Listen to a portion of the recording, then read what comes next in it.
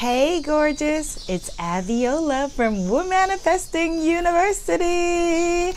And I am in Bali, baby. Bali, Indonesia, where I just finished the incredible Abundance Pray Love Goddess Retreat.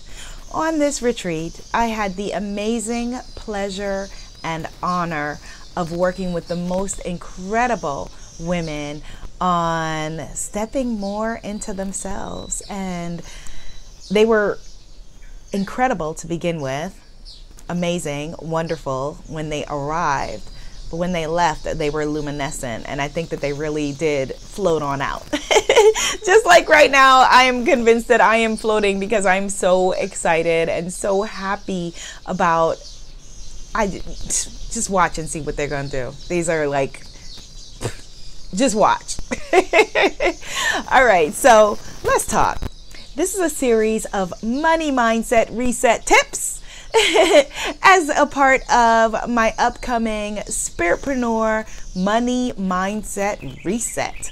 If you want more information, go to unblockmymoney.com. Unblockmymoney.com.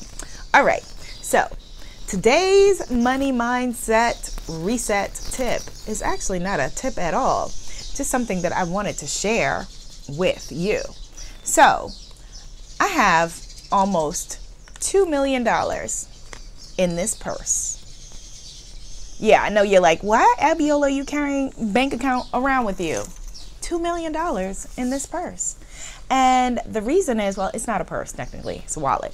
But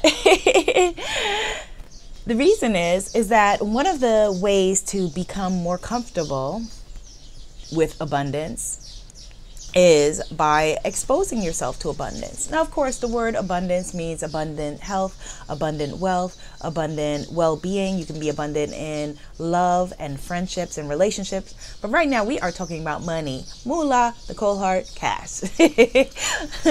cash Ola.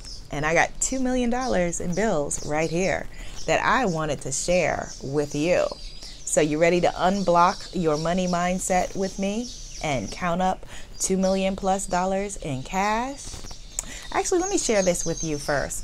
I had forgotten about this story, and one of the goddesses, Goddess Chantel at the retreat, reminded me that I had shared a story one time about how my sister went into Hermes just to reset her energy vibration that that was a place that was not for her, a store that she didn't belong in. And so it's very interesting because on the trip here to Bali, my plane stopped over in Australia and in Sydney, Australia, and I I went into the Hermes store there and saw a really cute pair of sandals that I'm probably going to buy. But I totally felt in concert with the vibration there. Um, I felt like that was where I was supposed to be. Now, you may not be interested in Hermes, and that's fine. You're not obligated to be interested in, you know, fancy cars or, you know, fancy jewelry or anything. You might just be into your crystals and being your happy, beautiful self. And that's what abundance is. It's having the freedom to call in and manifest and create in your life more of whatever is exciting for you. And so, actually, that's a money mindset tip by itself and an abundance tip by itself. To be in alignment with abundance is for you, what it is for you. Yeah, I'm still going to show you the $2 million. Just wait a second. Listen to this because this is good. a lot of us, you know, we inherit money ideas from other people about, you know, what it is that, you know, we should want and we should all over ourselves, right? I should want this. I should want that. I should do this. I should do that.